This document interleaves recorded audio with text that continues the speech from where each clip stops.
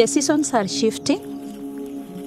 The rain comes late or not at all. With the current climate change, it has really made farming so uncertain for many smallholder farmers across Africa. There are also other challenges, especially access to information, uh, access to better seeds to manage climate change. Apollo is an agri fintech platform. For our customers, we're a one stop shop.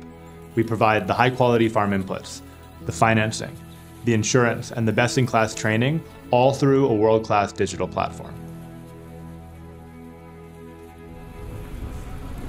Our technology is designed to meet farmers where they are.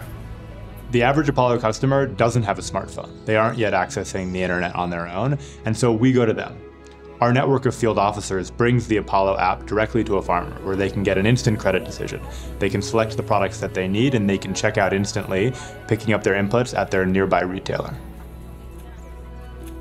When I joined Apollo, I was able to farm at least a bigger farm. My children went to school because of Apollo.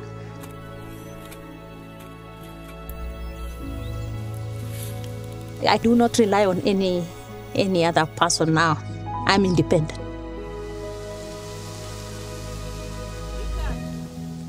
Apollo Agriculture is a mission-driven uh, platform.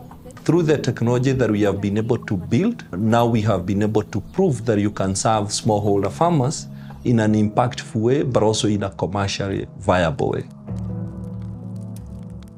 By 2029, we aim to reach more than 1.5 million farmers. We're closing the yield gap, raising productivity by more than 70%, and helping grow more than 500,000 tons of food, enough to feed 5 million people.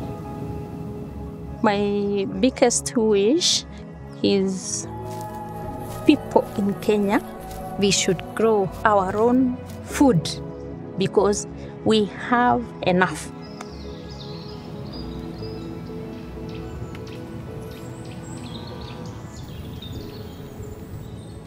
Across Africa, farmers are now growing rural economies, supporting their communities and building food security.